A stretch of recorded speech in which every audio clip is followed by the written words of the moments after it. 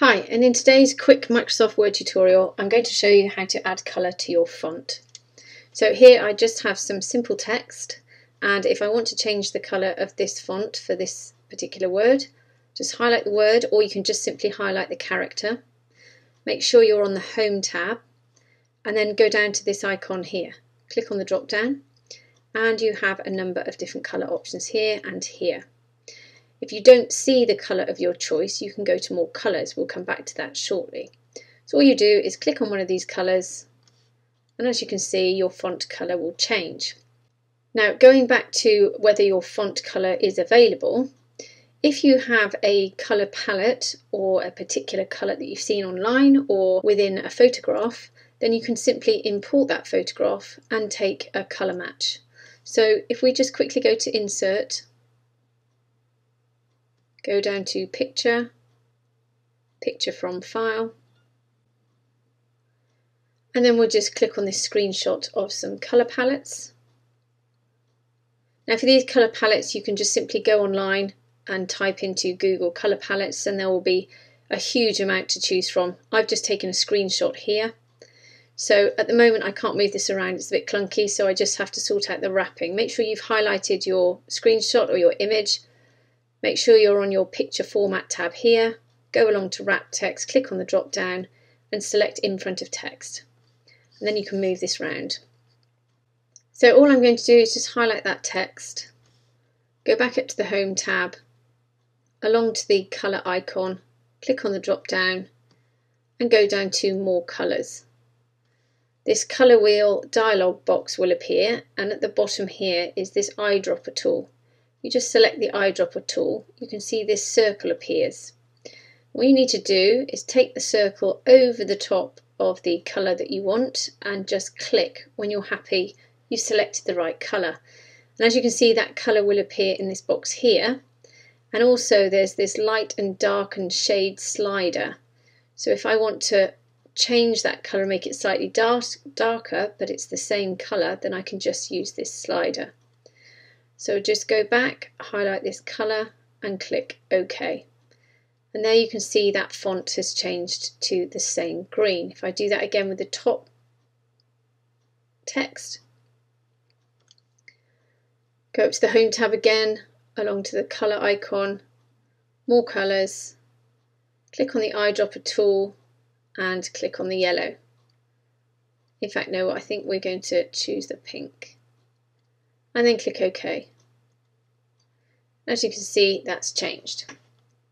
So the second way that you can add font colours, you can continue to use the palette again with all of these different methods. So I'm just going to move that colour palette down there.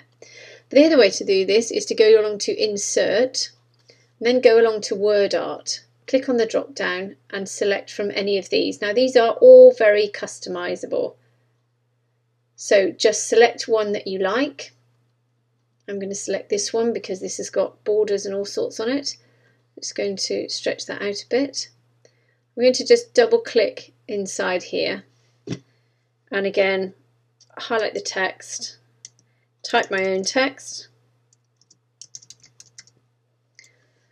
and then just highlight it, go back the, to the home tab and I'm just going to increase the size of it by using this increase size icon. Just so that you can see what's going on. So as you can see this particular font we've got both an outline and a fill colour.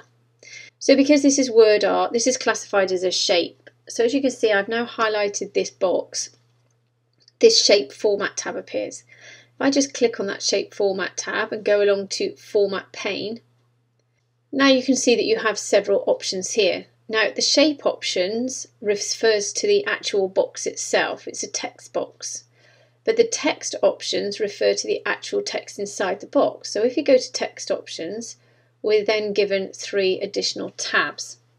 So this tab here, if we click on text fill, this is going to refer to the colour inside your text.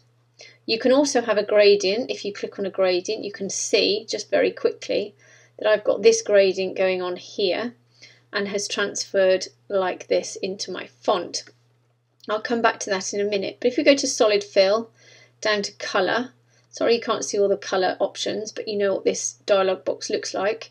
You can pick from any colour here, or you can again go down to more colours, go down to your eyedropper tool again, and then just simply select from the options. So I think we're going to go to this option down here and click OK.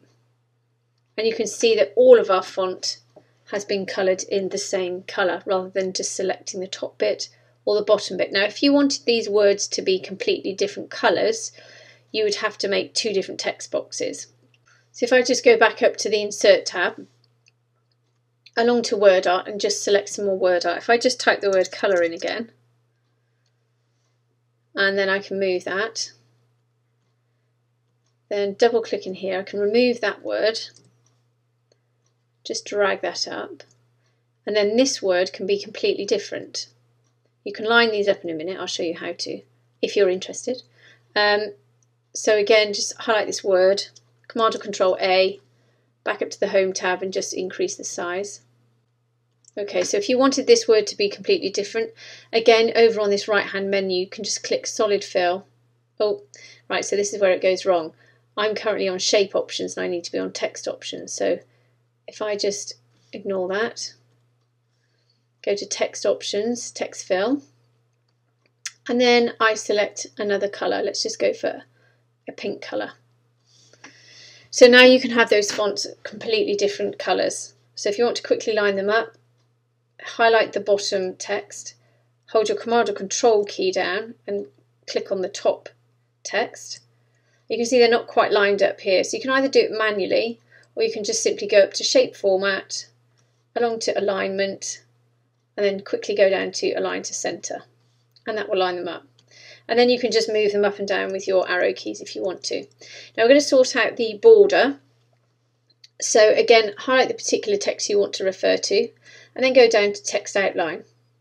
Not only here have you got your colour icon again, so you can click on that and change the colour. So let's go to a green but also you can just see there's a, a faint green outline. If you wanted to increase that outline, if you go to the width option here, you can use these up or down arrows, which will increase, as you can see now, it's increasing that border, or you can just input a number. It's completely up to you. Then you can deal with the transparency slider, and also you can have a number of different options with all of the different lined options that you can have. And again with this one here, you can just go to solid line fill again, choose the color of your choice and again, go down to the width option and just increase that width as you see fit. You can move these to the center of your page. So make sure you've highlighted them again by holding down the Command or Control key. Go up to Shape Format. You can make them into a group once you're happy they're aligned and now they're a, group so you can move them around together. You can ungroup them again so don't feel that you can't go back on this. And then if you wanted to center them in the page, all you do is go up to the alignment tab and align to center. And that will center your text in the middle of your page.